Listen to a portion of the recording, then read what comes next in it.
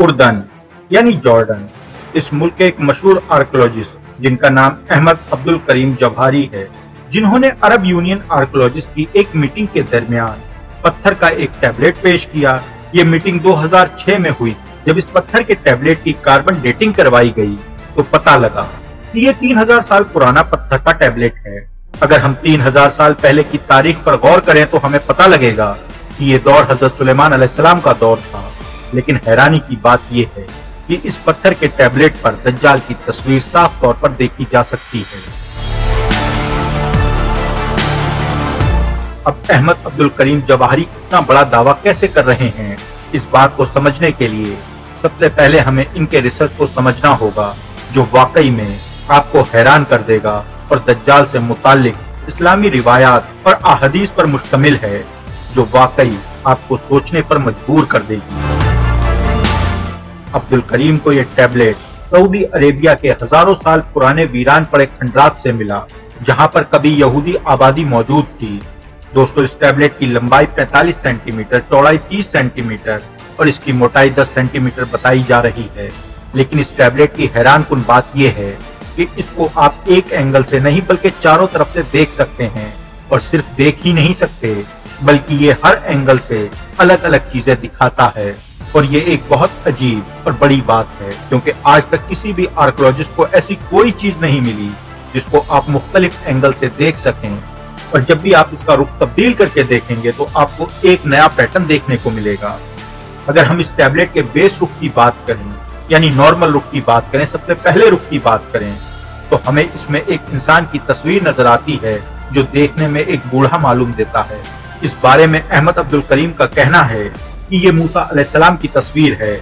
इसे मुमकिन है कि हज़रत सुलेमान अलैहिस्सलाम के दौर में बनाया गया हो, क्योंकि हम सभी लोग जानते हैं कि अल्लाह ने उनके ताबे जिन्नातों को किया हुआ था, और वो जिन्नात हज़रत सुलेमान अलैहिस्सलाम के हुक्म पर बड़ी बड़ी तामीरात करते थे। इसलिए शायद ये नक्श भी इन्हीं के कहने पर जिन्नात ने तैयार किया होगा, क्योंकि अगर इसका जायजा लें तो ये बड़े ही सख्त पत्थर पे बना हुआ है, जबकि उस वक्त ना तो इस किस्म की कोई टेक्नोलॉजी मौजूद थी और ना ही इस तरह की कोई मशीन। इस तस्वीर में जो बुज़ुर्ग शख्स का चेहरा दिखाई दे रहा है, उन्हें देखकर इस बात का इल्म होता है कि वो एक सख्त मिजाज हैं। साथ ही उनके चेहरे के नीचे उनकी दाढ़ी को भी आसानी से देखा जा सकता है। इसके अलावा इस तस्वीर में दिखाई देने वाले शख्स के चेहरे पर कुछ लिखा हुआ है, जो कदीम ज़ुबान में है, जिसका मतलब है कि ये शख्स एक आलिम है और इनकी ज़ुबान के अंदर लुकनत है।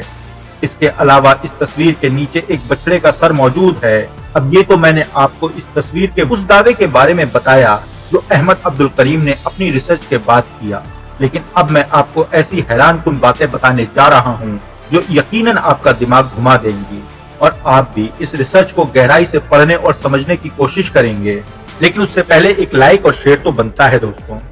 है अब जैसा कि मैंने आपको बताया कि इस तस्वीर के बारे में अब्दुल करीम का दावा है ये तस्वीर हज़रत मूसा की है और इन्होंने उसे साबित करने के लिए दलील भी पेश की है। तो उनकी सबसे पहली दलील कि इस तस्वीर में जो शख्स हैं, वो तगड़ी जुसामत के बड़े सख्त इंसान हैं, जिन पर मोटापा नहीं है।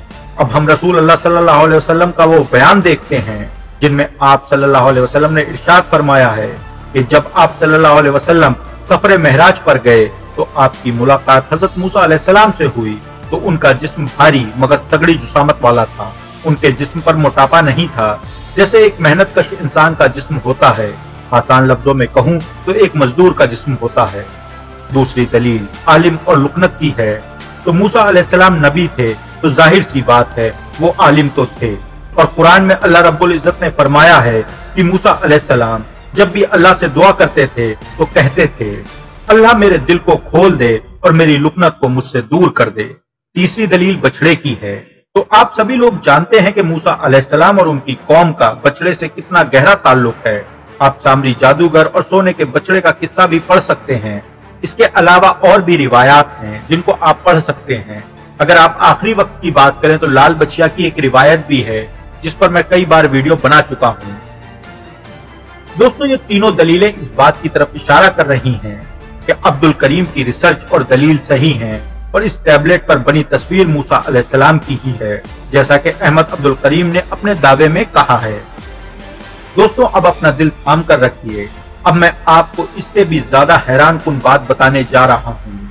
अब हम इस टैबलेट का रुख बदल कर देखते हैं और 180 डिग्री पर रखकर देखते हैं तो हमें इस एंगल पर चार तस्वीरें देखने को मिलती हैं, जिसमें से एक तस्वीर एक शख्स की है, जिसका सिर्फ़ आधा सर मौजूद है और वो भी सर का सीधी तरफ़ का हिस्सा। इस शख्स की सिर्फ़ एक आँख है, नाक है, सर है, मुँह है और दाढ़ी के बाल हैं। इस तस्वीर के बारे में अहमद अब्दुल करीम का कहना है कि ये तस्वीर दज्जाल की है। वैसे दज्जाल के बारे में हर नबी ने अपनी अपनी उम्मत और कौमों को बताया है और आप सल्लल्लाहु अलैहि वसल्लम, क्योंकि आपके बाद कोई नबी नहीं आना। इसलिए रसूल अल्लाह सल्लल्लाहु अलैहि वसल्लम ने इसके बारे में बड़ी तफसील से इस उम्मत को बताया है, ताकि जब उसका वक्त आए तो मेरी उम्मत, वो सारी निशानियाँ जानकर उसको पहचान सके, जो आप सल्लल्लाहु अलैहि वसल्लम ने बताई हैं। इन सब निशानियों में एक ऐसी निशानी भी मौजूद है, जो इस उम्मत के लिए आप सल्लल्लाहु अलैहि वसल्लम ने बयान की है, जिसको पहले के पैगंबरों ने बयान नहीं किया है। वो निशानी है कि दज्जाल एक आँख का होगा, यानी काना होगा। इसके बाद रसूल अल्लाह सल्लल्लाहु अलैहि वसल्लम ने इरशाद फरमाया कि याद रखो, तुम्हारा रब काना नहीं है। यानी अगर इस निशानी के साथ कोई अपने आप को खुदा होने का दावा करे तो जान जाओ, वो तुम्हारा खुदा हरगिज नहीं है। दज्जाल की सीधी आँख कानी होगी और उभरे हुए अंगूर की तरह होगी और उस पर सफ़ेद चमड़ी होगी। इसके सर के बाल सख्त होंगे जैसे झाड़ियाँ और गर्दन मोटी होगी। इस टैबलेट में मौजूद इस शख्स को और इसके सख्त झाड़ी जैसे बालों को हम देख सकते हैं। साथ ही इसके चेहरे की चौड़ाई को देखकर ये महसूस होता है कि इसकी गर्दन काफ़ी मोटी है। इसके उल्टे हाथ की तरफ़ नीचे एक काना बंदर बना हुआ है, जो कि बनी इसराइल के सत्तर हज़ार यहूदियों की तरफ़ इशारा करता है, जो अल्लाह ताला की नाफरमानी करके बंदर और खिंजीर बन गए। इसी बंदर के साथ इस तस्वीर में खिंजीर भी मौजूद है, जिसे एक नापाक जानवर समझा जाता है और इसका गोश्त तमाम इब्राहिमी मजाहिब में, यानी यहूदियत ईसाइत और दीन इस्लाम में हराम है। इसलिए ये दोनों जानवर इस तरफ़ इशारा कर रहे हैं। कि कैसे शैतान ने अल्लाह की चहीती उम्मत बनी इसराइल के अंदर इतने बड़े ग्रोह को गुमराह किया और वो अम्बिया की औलाद होकर भी गुमराह हो गए। और ठीक इसी तरह से इसका आखिरी वार दुनिया पर दज्जाल आकर पूरा करेगा। वो पूरी इंसानियत को गुमराह करके इन्हें कुफर में मुब्तला कर देगा, जैसा कि शैतान पहले भी कर चुका है। इसके साथ इस तस्वीर में एक बिच्छू भी मौजूद है, जो इसके सर के ऊपर है। और आप सभी लोग जानते होंगे कि बिच्छू को ख्वाब में देखना यानी कि दुश्मन का हमला, यानी कि बिच्छू दुश्मन की अलामत है। जो इस तस्वीर में होकर बता रहा है कि दज्जाल इंसानों का सबसे बड़ा दुश्मन है। और आप जानते हैं कि इसके माथे पर काफेरे के अल्फाज लिखे होंगे, यानी काफिर, और इसको सिर्फ़ ईमान वाले ही पढ़ पाएँगे, चाहे वो लिखे पड़े हों या ना हों। अब मैं आपको एक और हैरान कुन करने वाली बात बताने जा रहा हूँ। आपको फ्राउन के बारे में इल्म होगा, जिसने खुदाई का दावा किया था। ये फ्राउन एक स्पेशल टोपी पहना करते थे, जो शाही टोपी होती थी। वो टोपी भी इसके सर पर मौजूद है और इसके चेहरे पर जो तहरीर लिखी हुई है, इससे पता चलता है कि ये एक बहुत ही बुरे नसब का इंसान है, जो कि एक शैतानी तबीयत का मालिक है। इसकी हकीकत का किसी को भी नहीं पता और इन्हीं सब बातों को दिमाग में रखकर अहमद करीम का दावा है कि ये दज्जाल की तस्वीर है। जो कि बिल्कुल इस्लामिक रिवायात से मेल खाती है। अब अगर इस टैबलेट की तीसरी रुख की बात करें और देखें तो इस पर जो तस्वीर बनी है, उसे देखकर लगता है जैसे ये एक शैतान का सर है जिसे कुर्सी पर बैठाया गया है। अगर जरा सा सा गौर करें तो इसके चेहरे के नक्श भी देखे जा सकते हैं। हदीस से साबित है कि आप सल्लल्लाहु अलैहि वसल्लम ने सूरज के तुलू होते हुए नमाज़ पढ़ने से मना किया है, क्योंकि इस वक्त सूरज शैतान के सींगों के दरमियान से तुलू होता है। मतलब इस वक्त की इबादत दर हकीकत शैतान की इबादत होती है, यानी शैतान के सींग भी मौजूद होते हैं। दोस्तों, ये तस्वीर बताती है कि दज्जाल के आने के बाद शैतान को इस दुनिया पर हुक्मरानी मिल जाएगी और दज्जाल अपने धोखे की बदौलत इंसानों पर कुछ वक्त के लिए हुकूमत करेगा।